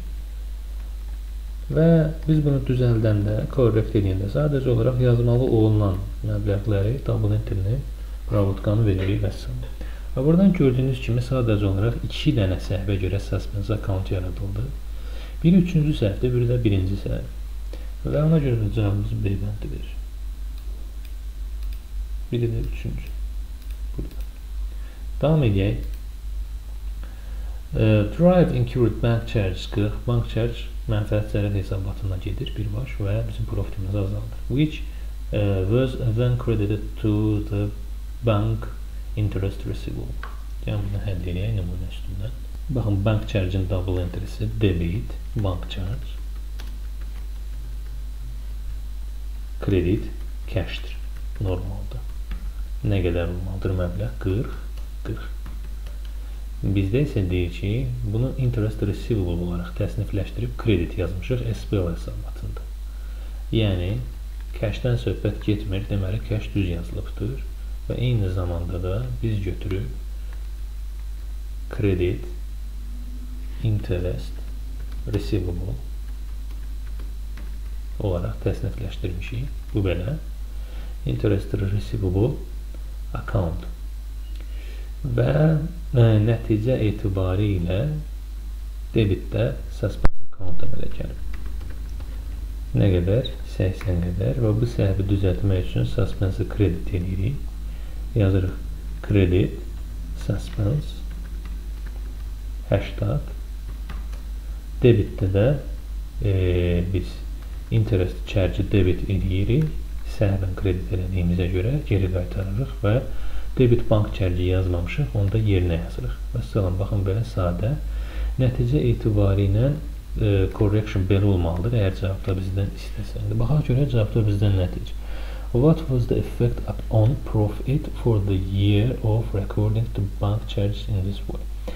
Yəni, e, bu şəkildə deyir ki, siz bank charge qeyd eləsəz, yəni söhbət false versiyadan gedir. Bunun e, SPL hesabatına təsiri nə olacaq? Uşaqlar, SPL hesabatında belə deyil. Buradan qeyd edirəm, baxın. False profit və bir də true profit qeyd edəcəm. Buradan da qeyd edək true profit. Deyək ki, correction-dan əvvəl hər iki halda bizim profitimiz 1000 manat idi. True versiyada biz götürüb baxın belə yazmalıydıq. 40 qədər bank charge, yəni 40 qədər expense-imiz olmalı idi. Amma False versiyada isə bizim 40 qədər income'ımız var uşaqlar. Görürsüz? Yəni müsbət 40 qeyd olunub nəticə etibarilə. Və aradakı fərq nədir? Aradakı fərq də gördüyünüz kimi 80-dır. Yəni bu o deməkdir ki, uşaqlar, biz profiti overstate eləmişik. Yəni çox qiymətləndirmişik səhvən. Səhvən, baxın, profiti çox qiymətləndirmişik. Nə qədər çox qiymətləndirmişik? 80 qədər overstate eləmişik. Ona görə cavabımız B bəndidir. Keçək 260-a, ən çox sevdiklərimdən. Buyurulur ki, suspense account açılmışdır və aşağıdakı səhvlərdə sonradan tapılmışdır. Amma suspense accountun opening balansı nədir, onu bizə demir. Debitdir və ya kreditdir, bilmirik. Bizə deyir ki, Gazbill 420. Gazbillin double entry'si nədir uşaqlar? Debit, Gaz expense 420 və kreditdə cash. Kredit cash 420. Baxın bu formada olmalıdır. Götürüb biz bunu qaz accountu 240 olaraq qeyd eləmişik, ancaq cash tərəfini demir bizə. Qaz accounta 240, yəni transposition error əmələ gəlibdir. Ona görə də debitdə suspense əmələ gəlibdir. Nə qədər? Təbii ki, 180 qədər. Sonra suspense correction zamanı kredit edirik. Yazırıq kredit suspense nə qədər 180 qədər və debitə də qaz expense qeyd edirik. 180 qədər qaz expense. Və nəticə etibarı ilə bizim suspensimiz suspensimiz kredit olur 180 qədər. Bu səhvə görə suspense accountımız. İkinci səhvə baxaq. Payment of Alice Stationery. Stationery bilirsiniz nədir? Stationery bu ofis ləvazimatı var ya. Onlara görə ödənilən puldur. E, yəni mühasibatlıqda bu belə gedir. Və e, 50 qədər ödəniş ediləndə onda double entry belə olmalıdır uşaqlar. Debit stationery expense 50 kreditdə təbii şəkildə cash 50 və bizə deyir ki, bunu discount receipt-də götürüb kredit eləmsən. Amma cash-dən söhbət getmir. Cash deməli düzdür və mən debit stationery yazmaq əvəzinə götürüb kredit e, discount receipt yazmışam. Nə qədər? 50 qədər. Və ona görə də debitdə suspension əmələ gəlibdir. Bu da verir mənə 100. Sonra bunu düzəldəndə sadəcə olaraq götürüb kredi suspense verirəm. Bunu qeyd edəyək buradan. Sonra isə suspense səhvən kredit eləmişəm. Onu düzəltmək üçün debit verir. Yazıram debit və stationerini yazmamışam, stationery expense və onu da qeyd edirəm yerinə. Nəticə etibarilə suspense 100 kredit göndərirəm. 100 kredit göndəririk suspense və interest received e, interest received 70 had been entered in the bank account only. Interest received-in double entry'si belə olmalıdır uşaqlar. Debit cash 70 kreditdə interest receivable hansı ki, SPL hesabatda qeyd olunur. 70 qədər. Və biz götürüb nə etmişik? Biz götürüb ancaq cash-i yazmışıq. Krediti isə yazmamışıq. Ona görə kreditdə suspense account əmələ gəlibdir. Bəli, bank accountda qeyd olunub onlu. Və ona görə də suspense-i silirik burada. Və kreditdə də təbii ki, yazılmalı olan məbləği qeyd edirik bu formada və buradan da assessment account-a 70 qədər debit gedir bu formada. Və bundan sonra bizə deyir ki, what was the original balance on the suspense account? Onda siz qayıdıb deyə bilərsiniz ki, ay qardaş, bəs sən mənə opening balance vermişdin ki, yəni mən də necə bilim? Yəni, opening balansı mən necə tapım? Uşaqlar, belə olan təqdirdə nə edəcəksiniz? Belə olan təqdirdə bir şey yadınıza salın ki, suspense account bütün səhvlər düzəldildikdən sonra sıfırlanmalıdır. Və biz burada bütün səhvləri düzəltdik, çünki bizə başqa heç bir səhv vermir. Biz bunu belə qəbul edirik və opening balansı tapmağın yeganə yolu budur. Biz belə qəbul edirik ki, cəmi 3 dənə səhv var idi və bu 3 dənə səhvi düzəldəndən sonra suspense account sıfırlanmalıdır. Vəssalam.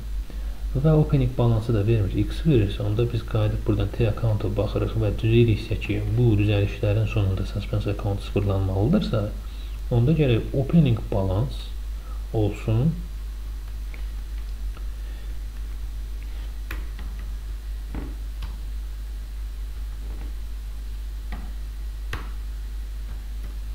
210. Baxın, bunun da həll olunma qaydası belədir uşaqlar.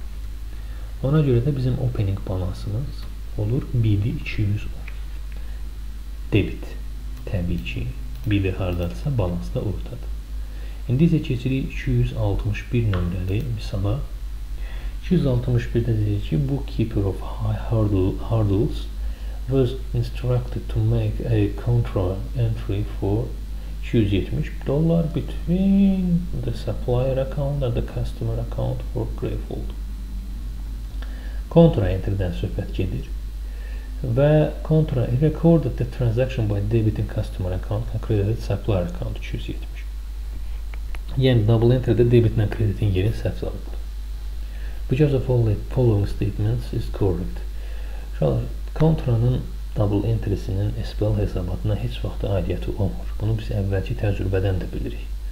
Və ona görə də profitin understate və yaxud overstate olduğu bir nəticə və yaxud net asset-in understate hansı ki net asset-ə nə gedir? Profit gedir. Understate və yaxud overstate olduğu nəticələr düzgün deyil. Birinci dənə cavabımız qalır D bəndi. Orada da bizə deyir ki, nə profit, nə də net asset understate, overstate olmayacaq. Ona görə də cavab D bəndidir.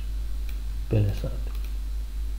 Yəni, çox özünüzü yormağa ehtiyac yoxdur bu misalın üstündə. Əgər kontranı yaxşı yadınızda saxlamısınızsa, kontra enterləri bu misalda həll etmək asan olacaq. Əgər problem varsa, qayıdın double entry suallarını, orada kontra ilə bağlı e, questionlar var, o questionları qəşək e, həll edin, ondan sonra qayıdın bu misalı bir də həll eləməyə çalışın. 262 nömrəli misal. Which of the following errors would lead to creation of a suspense account? Verilənlərdən hansı suspense accountun yaradılmasına gətirib çıxardır? E, deməli, sales returns were credited to the purchase returns account and debited to receivables.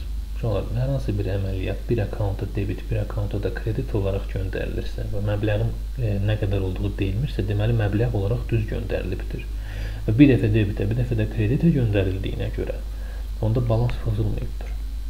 Yəni balans pozulmursa da suspense accountun yaradılmasına ehtiyac yoxdur. Keçək B bəndinə. The total sales daybook had been totaled incorrectly before being posted to the ledger accounts.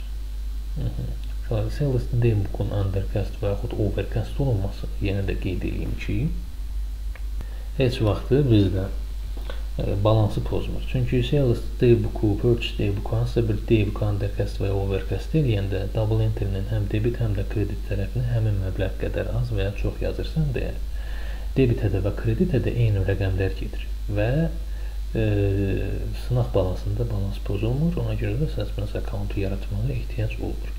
C bəndinə baxaq. Discounts received has been dealt with correctly in the payables ledger control account but credited to the purchases account. Gözəl. E, burada məsələyə fikir verək. Discount received e, payable control account-da debit edilməlidir. Və kreditdə discount received account-a getməlidir, amma kredit olaraq purchase account-a yazmışıq. Yəni bir krediti başqa kreditdə bir kreditə yazmışıq. Yəni bir account-a göndərməli olduğumuz krediti başqa bir account-a kredit olaraq göndərmişiksə, yenə də balans pozulmur. D bəndinə baxaq. Purchases from the purchase daybook have been credited to sales. Mm -hmm. Purchase daybook'tan have been credited to sales and dealt with correctly in the payables ledger control account. Uşaqlar, daybook'dakı purchase'in double entry'si belədir. Debit, purchase, credit, payable. əgər biz kredit tərəfini düz yazmışıqsa, o zaman debit olaraq purchase yazmalıydıq. Yəni qalan tərəf budur. O qalan tərəfi isə debit purchase götürüb yazmışıq credit sales. Yəni 2 dənə kredit vermişik və debit verməmişik. Belə olan təqdirdə dalla enterdə balans pozulur avtomatik olaraq. Ona görə də doğru cavabımız bizə verir D bəndi. İndi isə keçək 263 nömrəli misala. People had a balance on his suspense account 1820 discovers the following errors. Yəni bunu həll edək misal. E, 1820 suspense accountumuzda kredit var və mən də burada qeyd elədim suspense accountda kredit BD olaraq suspense accountda. İndi isə aşağıdakı səhvlərə baxaq və səhvlərə düzəliş eləyək və düzəlişdən sonra e, suspense accountdakı məbləğ nə qədər olacaq onu tapaq. Standard income 1750. Yəni müxtəlif gəlirlər. Olsun deyə məsəl üçün debit cash, kredit, e, sundry income edək. Debit cash true'su budur. Kredit, sundry income. Nə qədər? 1750. 1750, 1750 bu formada. E, Sundry income account 1570 olaraq qeyd olunubdur. Yəni burada yenə də transposition error baş veribdir. 1570 olaraq qeyd olunubdur. Nəticə etibarı ilə nəticə etibarı ilə arada 180 qədər fərq əmələ gəlibdir. Kredit tərəf az olduğuna görə suspense accountu kredit tərəfdə yaradırıq. Sonra isə bu suspense accountu debit olaraq silirik və kreditdə 180 sundry income qeyd edirik. Nə qədər? 180 qədər və buradan suspense account-a 180 debit gedir nəticə etibarilə bu formada. Bundan əlavə keçək ikinci səhvə. Sales of 280 from the sales daybook. Sales daybookun satışının double entry-si debit, receivable, credit, sales olur nə qədər? 2800 üzrsən 2800. Görək bunu nə vəziyyətdə yazmışıq. Receivable Ledger Control account-a e, qeyd olunubdur, ancaq başqa heç nə yazılmayıbdır. Yəni bu formada. Ona görə də kreditdə də suspense açılır. 2800 qədər. Sonra debitdə həmin suspense silinir correction zamanı və yazılmalı olan credit sales qeyd olunur öz yerində. Nəticə etibarilə buradan suspense account-a 2800 debit gedir uşaqlar. Davam edək. Üçüncü səhvdən purchase debook was undercast. Yenə də qeyd edeyim, debookların undercast və yaxud overcast olmağının suspense account-a heç bir dəxlisi yoxdur. Çünki e, bir daha qeyd edeyim bunu, sınaq balansında balansı pozmurlar. Və nəticə etibarı ilə bizim suspense account-da CD-miz biri ilə eyni tərəfdə olur, bərabər olur. Bu ikisinin cəmi çıxılsın bu. 1160 debit və 1160 debitdir. Cavabımız yəni baxaq görək cavabımız düzdürmü? 263 1160 debit. Bəli, doğru cavab budur. Davam eləyək. Bir sonraki misalımıza keçək. 264. E, 264-də deyir ki, Marlon created suspense account with debit balance 1250. Gəlin bunu tez qeyd eləyək. E, Marlon 2250 debit balansı var idi suspense accountda. Avtomatik qeyd eləyək bunu. Debit, BD BD nə qədər? 1250. In order to balance his trial balance, um, he subsequently investigated the following. Əla, yəni səhvləri düzəldək. Ondan sonra da remaining e, debit balance on the suspense account nə qədərdir?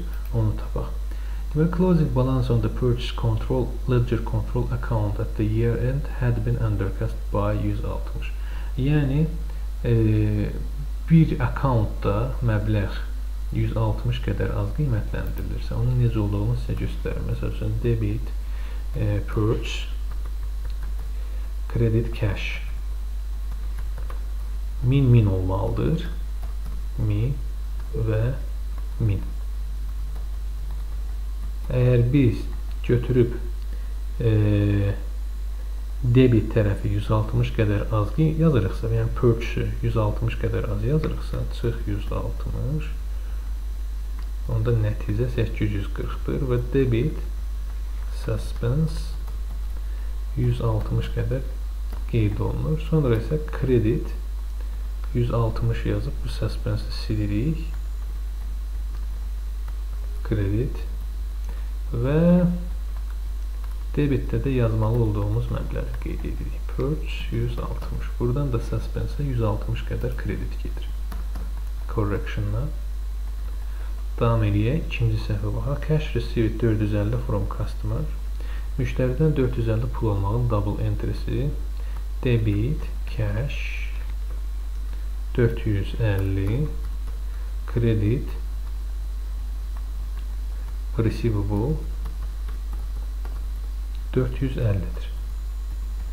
İndi biz nə etmişik uşaqlar? Biz götürüb has only been entered into the cash account. Bunu ancaq cash account-da qeyd etmişik. Yəni debit tərəfi yazmışıq, kredit tərəfi heç nə yazmamışıq. Ona görə də kredit tərəfdə də suspense account əmələ gəlir uşaqlar. Nə qədər? 450 qədər. Sonra bu səhvi düzəltmək üçün götürüb suspense debit edirik 450 qədər və kreditdə də yazmalı olunan receivable-ı qeyd edirik. Və buradan da suspense 450 debit gedir. Baxaq ən sonuncuna. Purchase return daybook has been overcast. Bayaq da qeyd etdiyim kimi daybookların undercast və overcast olmalı.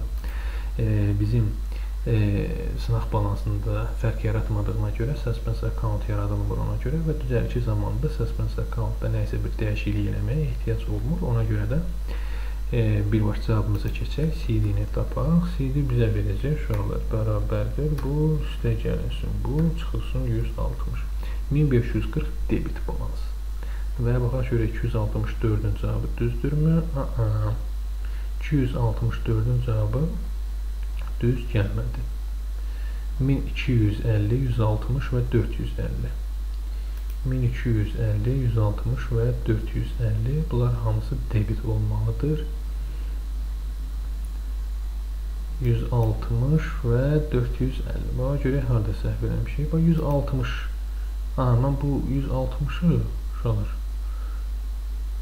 suspense accountun debitinə göndərmiş, kreditinə göndərmiş. Gəlin tam bir nümunə üstündən bunun niyə görə belə olduğunu başa düşməyə çalışaq. Gəlin baxaq. Baxın. Burada belə bir nümunəyə keçək. Suspense account. Burada məsəl üçün T accountumuzdan purchase T account-a baxaq. Purchase-lərimiz nə qədərdir? E, 1000, 2000-dir. Buradan closing balance, yəni CD kredit tərəfdə qeyd olunmalıdır. 2000 olaraq və trial balansa girməli olan məbləğ də buradakı 2000-dir uşaqlar.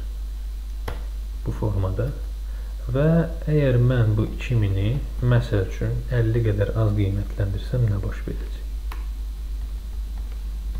Mən bunu 50 qədər undercast eləsəm avtomatik e, gördüyünüz kimi e, debitlər tərəf 50 qədər az olacaq. Ona görə suspense account yaradacam debitdə və suspense account-u siləndə də kreditdə siləcəm. Və e, eynən belə deyək, mənim öz misalımda elədiyim qaydada. Yəni suspense account-u debitdə yaradırıq, sonra biz correction zamanı suspense account-a kredit veririk şu alır.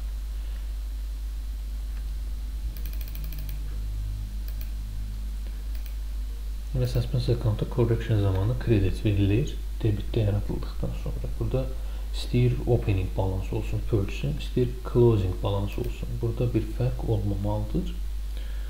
Amma niyə görə götürüb 160-ı burada debit veribdir? Gəlin bunu oxuyaq, başa düşməyə çalışaq. Və mən oxudum, buradan başa düşdüm. Burada fikir verin, e, bizə nə deyir? Burada payable account-dan söhbət gedir. burada yəni ə, baxın purge ledger control account deyir. Kon mən bu control account sözünə fikir verməmişəm.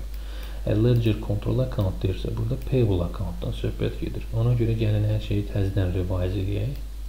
Baxın, onda belə çıxır ki, bu nisyə alışdır. Debit purge və credit payable olmalıdır. Və burada belə çıxır ki, e, debit tərəf yox, söhbət kredit tərəfdən gedir. Kredit tərəf under qəsd edilibdir. Və burada da suspense account ona görə bizdə kreditdə yaradılmalıdır 160 qədər. Sonra isə suspense accountun debit də silməliyik 160 qədər. Və kreditdə də e, biz payable verməliyik uşaqlar.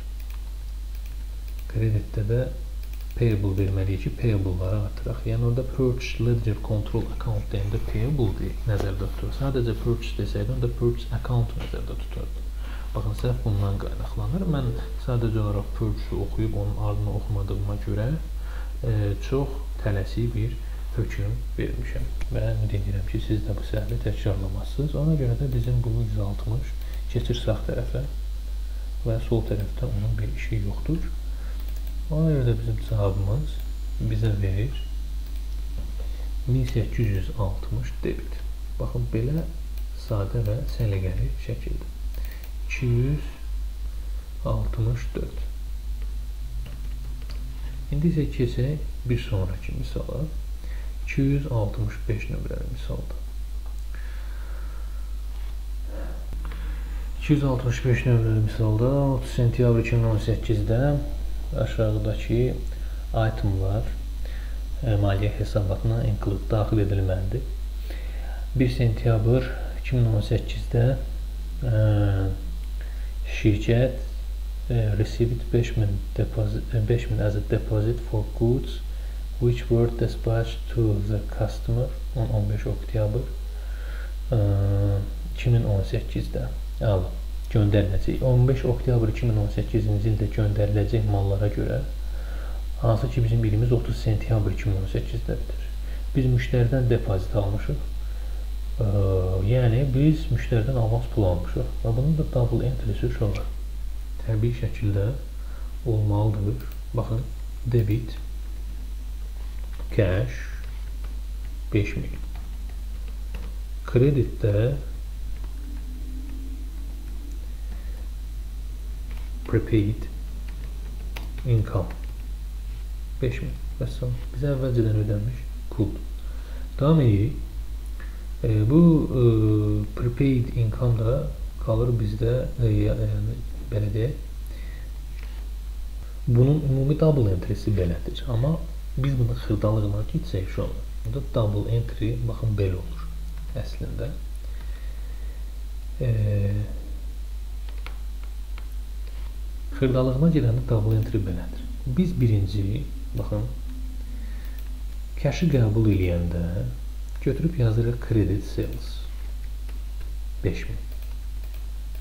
Sonra isə ilin axırında bizə çatır ki, əslində bu hələ salesdir, çünki malları göndərməmişik. Ona görə də bu 5000-i salesin içindən çıxardırıq, ona görə də salesa debit veririk. Nəticə etibarilə bu ikisi bir-birinə islah elədiyinə görə SPL hesabatına bunun e, belə deyək, e, müsbət təsiri olduğu qədər mənfi də təsiri olur və Ona görə də SPL hesabatına ümumi götürəndə təsir eləmir. Baxın bu format. E, və bizim nəticə etibarı ilə buradan qeyd edeyim. Current assets və current liabilitylərimiz Nə qədər artır? Olur. Prepaid income qədər current liability'lər artır və cash qədər də current asset'lər artır. Bu ikisini də bu formada qeyd edirik. Baxaq. 265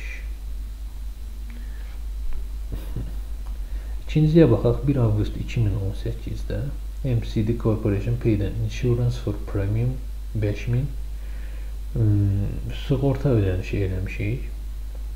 Diqqətlə oxuyaq. 1 avqustda iyul hansı ki 6 months period commencing 1 iyul. E, iyulun 1-dən başlayır. 6 aylıq period. İyul, avqust, sentyabr. Onda bunun sentyabrın 30-da 3 aylıq hissəsi, yəni yarısı tamam olur və bu 5000-in yarısı da keçir növbəti period. İndi biz nə etməliyik? Birinci növbədə bu 5000 ki ödəniş edirik. Bu ödənişə görə biz double entry qeyd etməliyik. Buna görə biz yazırıq uşaqlar. Bunları biraz aşağı çəkək. Buna görə biz yazırıq birinci növbədə debit insurance expense 5000 kredit cash 5000 Baxın bu formada. Bunu qeyd edəndə insurance expense gedir SPL hesabatına və cash isə kredit cash. Gəlir bizim buradan cashimizi azaldır. Baxın bu formada. Ondan sonra isə bizə ayın axırında, ilin axırında çatanda ki, Loro dildə desək, bunun yarısı prepayment'dır. Götürüb bunun yarısını prepayment olaraq biz çıxardırıq. Yazırıq debit e, prepayment 2500 Credit isə insurance expense. Insurance expense 2500. Üzr istəyirəm, kredit. Və buradan prepayment gəlir bizim current assetlərimizi artırır və insurance expense-in kredit olması isə buradan bizim e, belə deyək bizim profitimizi azal azaltmır, daha doğrusu artırır.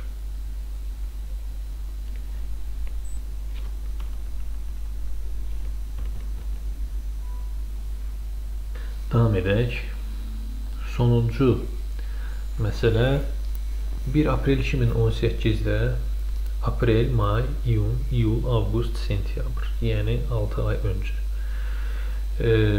5 illik bank loan demə raiz eləmişik, işi eləmişik və 12 min də bizə ödəniş eləyibdilər. Buna görə 12 min pul qəbul eləmişik. Və bunu da 5 ilin tamamında tamı tamına hamısını ödəyəcəyik. Ancaq bundan əlavə bunun e, faizi var və faizi illik 5 faizdir və sonradan ödənilir. Deməli biz accrual hesablamalıyıq. Accrual eləməliyik faizini. Və 1 illik faizi 5 faizdirsə, 12000-in 5 faizidirsə, o zaman e, 6 aylıq faiz də olacaq 12000-in 5 faizinin yarısı. Onu hesablayırıq. 12000-in qeyd edək burada 12 minin 5 faizi nin yarısı bizə 300 verir və 300 də debit kredit kredit accrual olur debit isə bizdə interest charge və yaxud interest expense və yaxud finance cost total olaraq gedir və accrual gəlir təbii ki, current liability-mizi artırır. Interest charge isə bizim profitimizi azaldır 300 qədər. Nəticə etibarı ilə bizim profitimiz 2800 qədər azalmalıdır.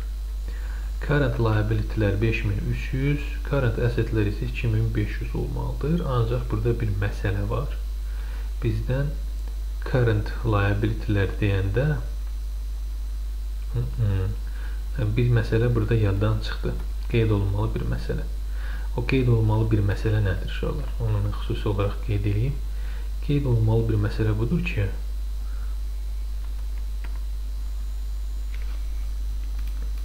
bizə o pulu verəndə, yəni baxın bu 12 mini verəndə, bunu double entry-sini də qeyd eləmək lazımdır axı. Debit cash 12 bütün double entry-lər qeyd olunmalıdır. Kredit isə 12000 bank loan. Və salam. E, və debit cash bizim cashimizi artırır deyə buradan cash-ı 12000 artırırsınız. Və nəticə etibarilə bizim current assetlər 14500 olur, current liabilitylər isə 5300 olur. Və cavabımız ona görə də C bəndidir və son olaraq çek eləyə görə cavabımızı düzmü aldıq? Bəli, düz aldıq. İndi isə keçək sonuncu misalımıza. SPL hesabatında net profit 57400 görsənirdi. Qeyd eləyək. 57500 üzr istəyirəm 400 üzr istəmirəm. İndi burada it was later discovered that suite of office furniture uh, has been purchased uh, at cost of 15500 had been charged to the office expense account. Qısası non-current asset almışıq. Yazmalıyıq debit, kredit.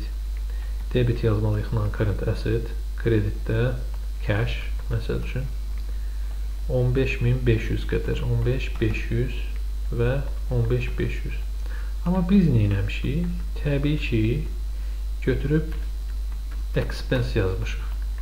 İndi bu səhvi düzəltmək üçün sadəcə olaraq expense kredit eləyib yazmalı olduğumuz yazmalı olduğumuzu yazırıq. It was later discovered əla 15500-ü qeyd elədik. Bundan sonra the office furniture had an estimated useful life 10 years with an estimated residual value depreciation-da aylıq hesablanır. Gəlin baxaq görək biz neçə ayda bunu almışıq. İlimiz bitir 31 iyulda, fevralda isə biz bunu almışıq. E, fevral, mart, aprel, may, iyun, iyul. Deməli 6 ayda ki biz bunu almışıq anda. 6 aydır almışıq və e, useful life 1500-dür. Onu hesablayaq. 15500 çıxılsın 1500 mötərizədə bağlayaq bunu. Bunu vuracam e, birinci növbədə bunu bölək useful life-ına. Useful life 10 ildir. Sonra isə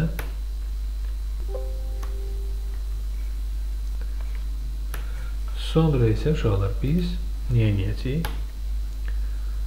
Bunu böləcəyik 2-yə. Məsələn, belə saat 700. İllik double entry-si bunu bizə verir. Debit, credit, debit depreciation charge, credit accumulated depreciation.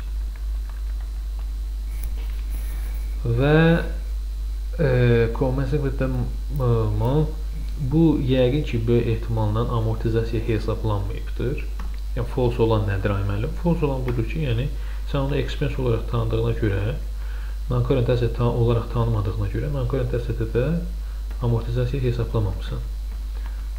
Correction nədir ay müəllim? Correction da amortizasiyanın hesablanmasıdır və buradan e, SPL hesabatına 700 profitin azalması daxil olacaq və 56700 profitimiz qalacaq. Vəssalam. Birinci səhvdə e, belə deyək, ha, birinci səhvi qeyd eləmək yaddan çıxdı. Expense kredit edirik 15500 qədər. Bu isə bizim profitimizi artırır. 72200 profit qalır bizdə. Görək düzmü həll eləmişik? 72200 mü olmalıdır profit? Bəli, düz həll eləmişik. Bu qədər uşaqlar. Görüşənə qədər.